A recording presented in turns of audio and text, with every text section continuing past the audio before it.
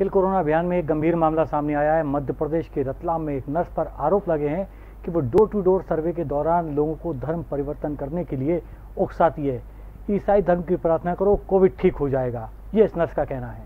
Corona को जड़ से मिटाने के लिए मध्य प्रदेश द्वारा किल कोरोना अभियान चलाया जा रहा है, जिसमें धर्म परिवर्तन करवाने का मामला सामने आया है। कहा जा रहा है कोरोना की स्क्रीनिंग करने पहुँची नर्स लोगों से कह रही है, ईसा मसीह की प्रार्थना करो तो कोरोना दूर हो जाएगा। साथ ही धर्म से संबंधित पर्चियाँ भी बांट रही है। आरोप है कि रतलाम के बाजना में कोविड के डोर टू डोर सर्वे के दौरान नर्स ईसाई धर्म का प्रचार कर रही थी, जिसमें धर्म से संबंधित टीवी चैनल, शो और वेबसाइट की जानकारी भी दे रही थी। नर्स लोगों से कहती थी कि ईसाई धर्म का प्रार्थना करो कोविड ठीक हो जाएगा। आप आप ईसा मसीह की प्रार्थना करने का क्यों बोल रहे हो यार? ठीक नहीं नहीं। क्यों? राम की प्रार्थना ठीक नहीं होगा आदमी? अल्लाह से ठीक नहीं होगा? वो आपको पता होगा। कि सब अपना वो आपको पता होगा मानेंगे तो सब ठीक हो जाएगा। नहीं नहीं तो पर आप आप ईसा मसीह की प्रार्थना का बोल रहे हो ईसा मसीह से ठीक हो गए?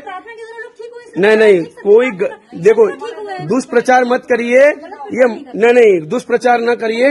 आप अगर ये आप मानते हो कि धार्मिक प्रचार करना चाहिए तो आप ये किए आप आपके आराध्य जो भी देव है जिसको मानते हो उसका आप प्रार्थना करो।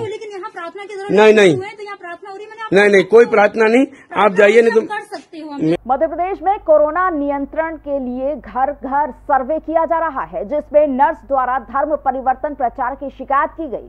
तहसीलदार द्वारा जाँच में नर्स संध्या तिवारी द्वारा ईसाई धर्म का प्रचार करने संबंधी शिकायत सही पाई गई है। बताया जा रहा है कि हिंदू संगठनों के दबाव में नर्स को निलंबित भी कर दिया गया है। संगीत की स्वर लहरियों से सांस्कृतिक ताने बाने तक चंबल के पीड़ों से नक्सलवादियों के गढ़ तक।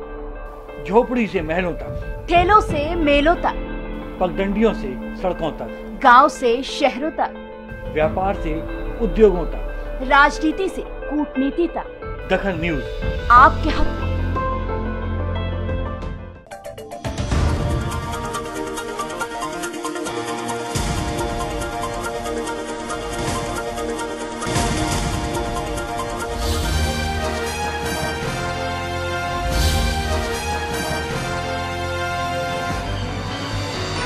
आप देख रहे हैं दखल न्यूज़।